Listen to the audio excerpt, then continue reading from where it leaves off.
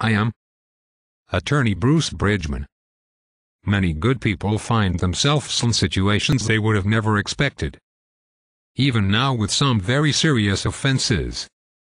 You find people who made a mistake or at the wrong place at the wrong time those are people I like to help. I find many good people wind up in a position that they never would have expected trouble. The consequences are severe. The collateral or consequences in particular are very very severe. They can lose their job license family and freedom there may be immigration issues I look at the whole case. In totality.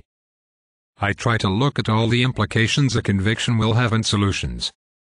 Sometimes it's a matter of reducing the sentence sometimes other times it's changing the charge there are numerous things that can be done when you have experience.